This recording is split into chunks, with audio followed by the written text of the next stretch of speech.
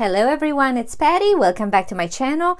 And today I'm coming to you with actually a DIY little instructional video on how to transform one of Simply Gilded large sticker albums or albums into a B6 traveler notebooks.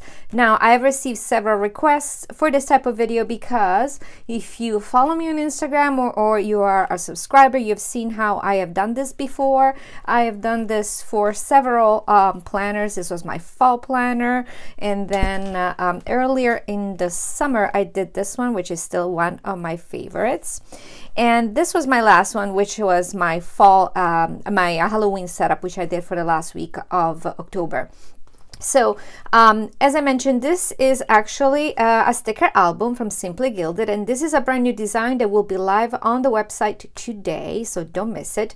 And I really want to use this for my November setup. Last year I did um, uh, you know, a setup for December, which was in the Buffalo check. I'm in love with Buffalo check. I just love everything black and white like this. I think it's very cute with pastels for um, the winter. And uh, so um, check out my channel for next week. I will have a full setup. But in the meantime, let me show you how, if you want to replicate the design, if you want to use your um, existing sticker albums uh, and turn them into a B6, uh, how, how you can do it. So again, this is the large size and uh, so when we open it up it has all these sleeves all these inserts. So the main issue number one is to uh, remove uh, the uh, plastic sleeves. There are two rivets here and uh, this rivets can um, be removed using a variety of tools. Now I have found that these pliers um, that I have in my stash actually stolen from my uh, son's uh, little caddy. So these are super helpful. You can use other tools, but um, if you don't have this type of pliers, and also um, this is the first time that actually I am using it on camera, so let's see how they work. But if you don't have this kind of tool, you can also use some kind of uh, cutters. You can use even scissors. Um, I have these jewelry tool making kits. This, um, this also work as well. So let's try first. So basically what we want, we want to separate the top bit of the rivet from the bottom. So these are pretty large rivets so they may be a little hard so you want to go around and just really press hard and I think that after you do a little bit of pressure in the middle piece, there we go, the rivet just comes off. So that was actually, um, you know, really, I'm glad it didn't Sometimes when you do things on camera, they don't work out. So let's take out the other one because clearly we want to use, uh, um, we need both of them off. And if you do it this way, if you cut it actually across the bottom, you know, through um, the base first, you won't damage the back of the album, which is vegan leather. So we definitely do not want to uh, damage that. Now this one is giving me a little more of a hard time. Okay, so so guys, this is not going to work actually. I don't know why the other one was so easy. So I'm gonna take my cutters out and get a little deeper in there because these should be able there we go oh that flew so this cutter saved the day so sometimes you know a tool works one time, it may not work the other time. And wear glasses in case these things fly off in your face. So uh, this is the insert. You can discard them. You can use them for something else. They actually will make really cute pockets that you can use in something else. So yeah, definitely don't discard them. So now we have our uh, cover, you know, that is ready for our traveler notebook. So if you wanna use um, something to cover the holes, uh, you can use brads, which is what I do most of the time. But if you've seen my Halloween setup, I have used the grommets, uh, which are super cute if you have it especially in some sort of special design. I have some in my stash that will work wonderfully. There's this cute little snowflake uh, if you're doing a winter setup or this little pumpkin, which I may actually turn um, this into after I do the video just because putting grommets in it requires more noise level but you'll need a hammer you'll need a tool and a hard surface to hammer them in. But basically you put them through the hole on this side. On this side you'll see the two little you know kind of the metal edge uh, coming through and then you just hammer it really hard. But just for the sake of this video we're just gonna use uh, two brads and you can find these brads. I bought mine on uh, I think I got these on Amazon, but they have tons of them at Michael's. They have them in different colors. I love to collect actually cute brads. It's, it's just a thing. I just love cute brads because I use them a lot in my setups. So here we go. So now we have the two holes covered. Now we have to create basically the holes here where we're going to apply, uh, we're going to insert our um, elastic so we can put in our inserts. So the first uh, thing we need to do is where are we going to cut our holes? Now to in, to kind of like have like an easy way okay where did I put it here? Um, to figure out where our holes are going to be going. First of all I always do three holes uh, because I like to use uh, um, three inserts and then maybe sometimes I add a little pouch in the back. And uh, I'm gonna use this uh, uh, traveler notebook which is going to help me to figure out where I am going to, um, you know, how high or how low the holes are going to be. Now, the, the holes here for the, the rivets already give us a good middle, um, you know, that's going to be our middle spot. So I usually line up my uh, B6 insert to be kind of like in the middle here.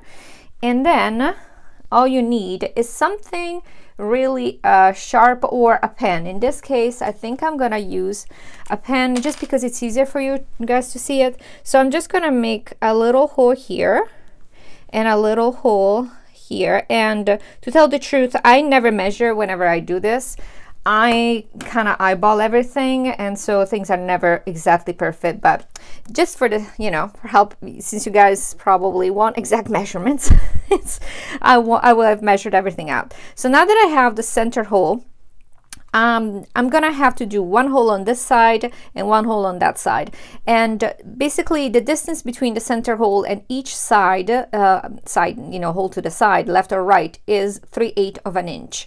So I have this little oops oops my washi let me move my washi for a second.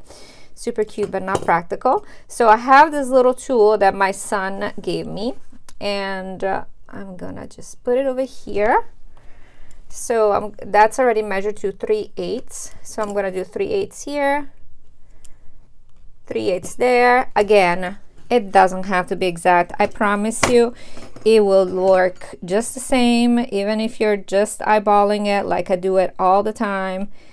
I have a problem with prepping.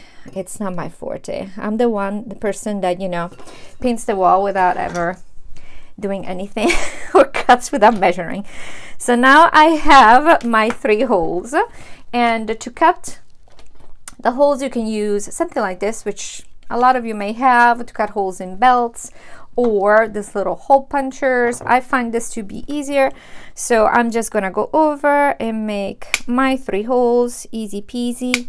Now, one thing is that um, yeah, of course, I have not even done, even measuring, they're not even even. But in any case, um, one thing is uh, you cannot, I know some people may prefer to have the holes a little more, um, you know, further apart from, e from each other because that way they can have thicker inserts. Um, just keep in mind that this is a very small cover. What I'm saying is that the, the spine here is not that thick. And so you cannot really put a ton of it because the spine is not an extra large spine. So it will not allow it. Now, next step is we're going to put our elastic in. And for elastic, I buy my elastic on Amazon. This is the last one I bought and it's super pretty. And this is two millimeter elastic. If you search for two millimeter elastic on Amazon, you'll find tons of options. But for the sake of today's, not for the sake, but for today's video, I am using the white one, which is another one I got on Amazon and it lasts me a long time. I use it for basically most of my, um, you know, setups and you're going to want to cut a piece of elastic that it's about 34 to 35 inches uh, long.